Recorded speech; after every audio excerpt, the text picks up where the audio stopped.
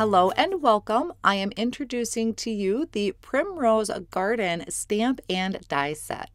Now, this bundle has a small stamp set with a bunch of sentiments to it, and then we have the die set that is going to be able to create a card front panel and then also be able to decorate it. Now, you can use these all together, like the packaging shows here on the back, or you can use these elements separately on your other card projects. So first, let's take a look at the sentiments included on the stamp set. We have thank you, thinking of you, congrats, hello, sending you so much love, miss you so, best of luck, happy birthday, and then there's a little heart on there that is absolutely adorable when it's so tiny like that. All of these sentiments are going to fit perfectly on this banner that I was just pointing to. It's a banner that you can die cut out of any colored cardstock and then stamp your sentiment on. Here's a look at the panel that you'll be able to die cut. So I used the outline die to die cut out the main panel piece out of eucalyptus cardstock. And then there is the piece piercing plate that is separate. So you can add that over the top. It is going to kind of give you an outline of where everything goes, but it also makes a great background. If you want to have just some subtle interest to a background, that piercing plate is going to be perfect for it. Then we can start building up our scene. So if you want to use all of the pieces, we're going to start out with the large leaves that I die cut out of the Rainforest cardstock. And you're going to be able to see the piercing lines where those large pieces go. And the leaves go all the way to the end of the cardstock. They're going to fit perfectly in that little place. And after a while, once you start layering your pieces in, if you kind of lose track of where things are supposed to go, definitely refer to the packaging. It gives you a great idea of where everything is to be placed. You can mix and match and create your own design, or you can refer to the Concord and Ninth website. A few things I added there were the berry stems and also a flower stem that was die cut from the grasshopper cardstock.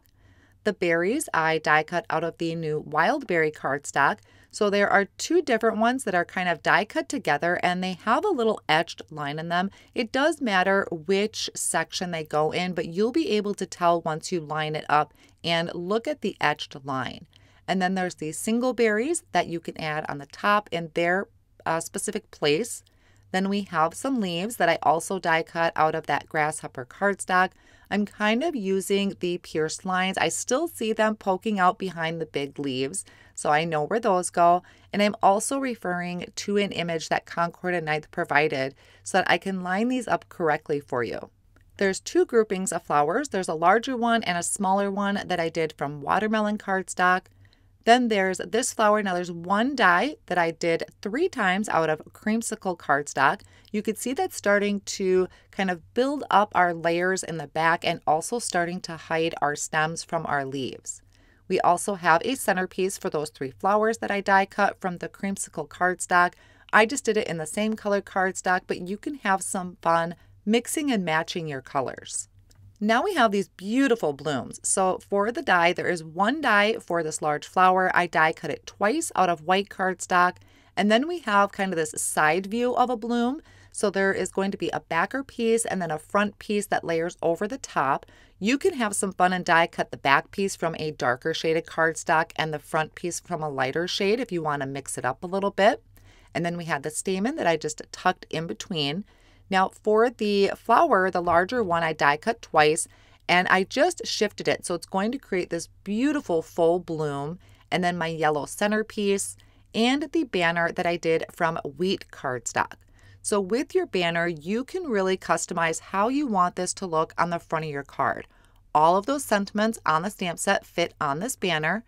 And with the flags, you can put them up, put them down, put one up, one down. Maybe you want your banner coming in from the side, so you could leave one off. Just really depends how you want it to look. So, really customizable. Now, because of the size of this die, you can create a shape card. So I have a piece of white cardstock here that's cut to five and a half by eight and a half, and I scored it at four and a quarter. So I like to create side folding card bases, but this is something that can also be done with a top folding card base.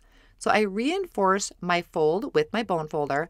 Now there are two large dies to this. You have your outline die and you have your piercing plate die. So I want the outline die to create my shape card.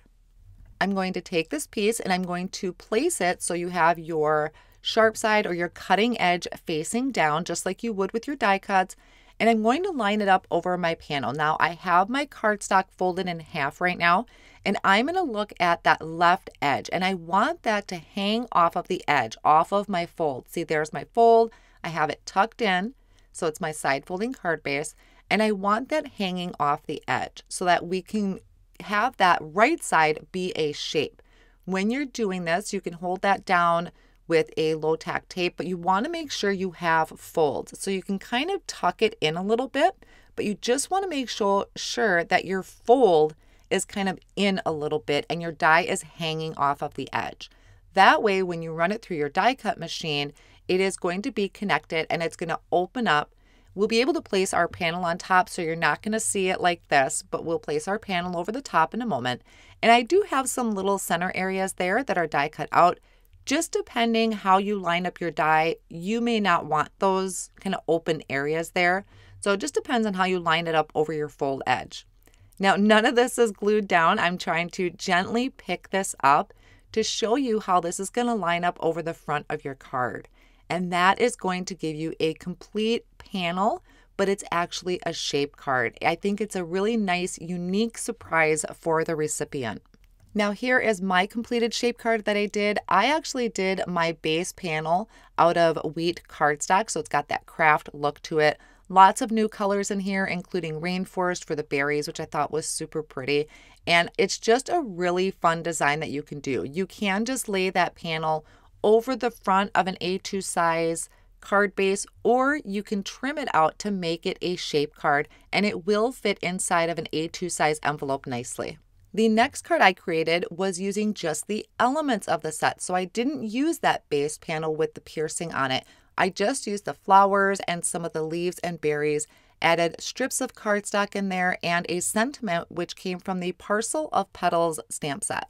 Now this one's a little hard to see, but I just used the backer over some pattern paper. It's got the piercing in it. I'll try and get a closer look at that for you, but it's going to be just the piercing, so it's giving a subtle look to the background out of the white cardstock.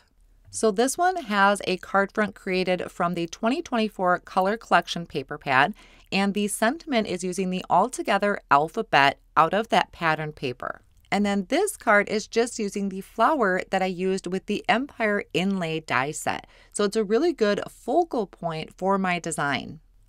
This die set I feel is a real showstopper and has a lot of possibilities to it.